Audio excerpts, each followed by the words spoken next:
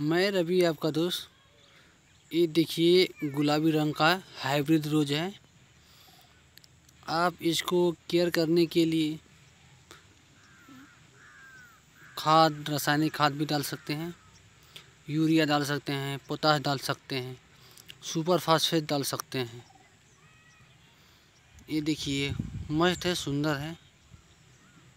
सबसे best quality का है रोज़ ये आपको मार्केट में बीस रुपये पीस फूल मिलता है डंथल में।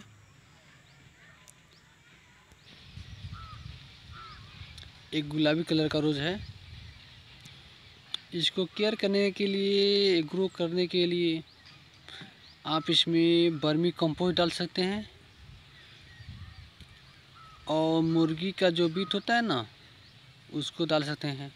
उसमें मुर्गी की जो बीट होता है, उसमें सुपर फास्फेट यूरिया, हर तरह के होते हैं तत्व। ग्रो करता है एक नंबर। इसका देखिए कली, कितना सुंदर है। पत्ती चमक रही है, एकदम न्यू है। मैरून कलर का इसका पत्ता है, देखिए। इस पर आप जाइम नाशक आता है वो डाल सकते हैं। सबसे बेस्ट होता है। अगर जाइम न मिले तो कंपोस्ट खाद डाल सकते हैं। गुलाब में कभी भी खाद डालिए, एक इंची में कभी मत डालिए। डालना है तो छः इंची या सात इंची की वृत्त में डालिए। पौधा से सात इंची लंबाई चौड़ाई चारों तरफ़ से डालिए। ताकि पौधे पे अधिक खाद होगा तो पौधा ख़राब नहीं होगा।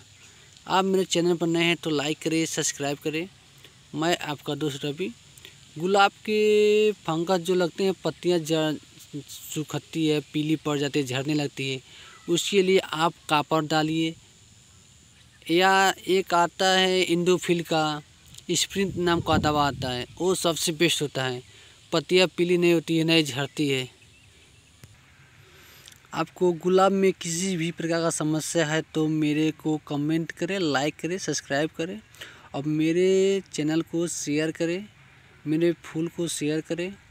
जो भी गुलाब को दिक्कत हो, उसके बारे में मुझसे पूछें कमेंट करें। मैं आपका दोस्त रवि।